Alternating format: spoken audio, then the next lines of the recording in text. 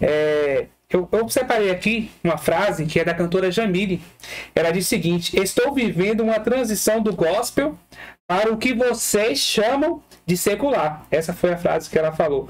Mas para mim, música é música. Estou abrindo portas para novas oportunidades, novas bênçãos, ela revelou. É, e aí, ou seja, ela está migrando do gospel para a música secular. E aí eu fiquei pensando nos aspectos, nos aspectos da oração, da adoração, da entrega, desse, como foi apresentado aqui. Será que uma pessoa, não, sem julgamentos, né, para a pessoa e para a decisão dela, Sim. um músico cristão que tem essa conectividade através da oração, é, com certeza tomaria uma decisão mais pautadas para aquilo que vai levar para a adoração. Então, é, a pergunta é a seguinte: por que, que muitos músicos gospels, gospels têm essa tendência de sair do gospel para migrar para a música secular? Será que, por exemplo, seria falta de conectividade com o criador, digamos assim? É um tema polêmico, mas a gente precisa falar. Eu É. tenho meu pensamento formado sobre isso, mas eu gostaria de ouvir você falando. Eu vou falar e depois você dá sua opinião e eu Sim. vou fugir aí. Porque eu tomei muita água.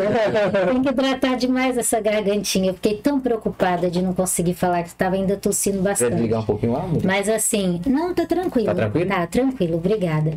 Então, assim, a gente aprende que é, quem está em unção não consegue escolher outro caminho. Uau! Não consegue. Essa. Repete por gentileza essa frase? Quem? É, é, quem está em unção não consegue escolher outro caminho, não consegue é, ver outra alternativa, né? Tem Uma coração segunda dividido. opção, não, um coração dividido. Então, assim, é, quem somos nós para julgar as dores? Infelizmente, muitas pessoas se, se afastam das comunidades, das congregações, por dores com os irmãos, né?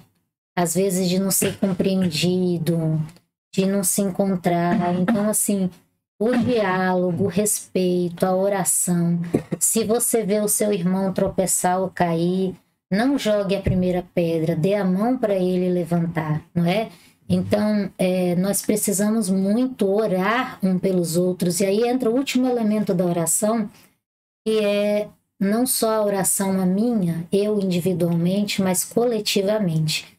O líder de louvor é, ora antes dos ensaios, para um tempinho para orar por algo especial, ora quando termina, quando tá para acontecer a adoração, ali o ensaio é adoração, tudo é adoração.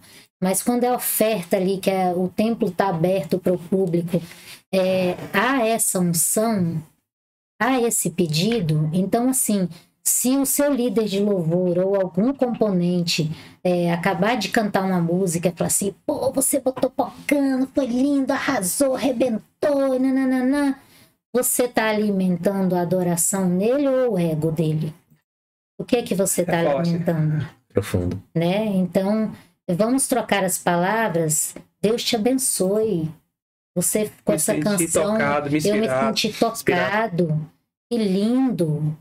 Deus é, Não há é, problema algum em elogiar, né? Mas a forma como você vai a elogiar. forma que os elogios vêm, que os E aplausos a gente gosta vêm. de, da, da, da Não é? vaidade, né? A gente gosta e a gente É. precisa ter o cuidado máximo. né? Agora a vaidade é, é, o- foi, o- foi o que Lúcifer é, fez ele, né? O anjo Gabriel deixar, né, e gerar esse conflito todo. Então, assim, não são é, atributos divinos, então a gente tem que ter cuidado. Uhum. E se a pessoa ó, é, começa a ver elogio, é muito bom. Meu esposo até fala, gente, quando cada pessoa voluntariamente vai lá e fala lindamente no púlpito, canta lindamente, gente, no mínimo tem que aplaudir, porque foi foi muito lindo, foi voluntário, foi para Deus.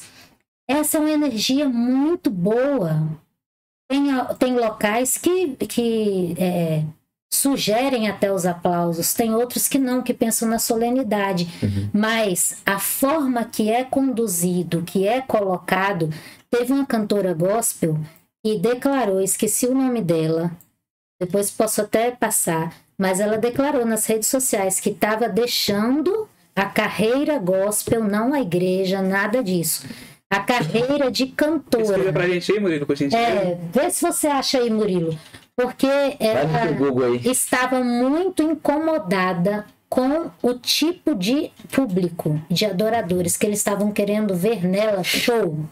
Eles estavam só querendo ver nela show, show, show, e não adoração. Então isso é muito triste também. A pessoa pensar que ela está num mercado de trabalho como cantora, tem que se manter nesse mercado e o público está pagando os ingressos. Claro que ela é musicista, tem que sobreviver disso, mas está querendo ver nela um- uma performance de show e não de adoração.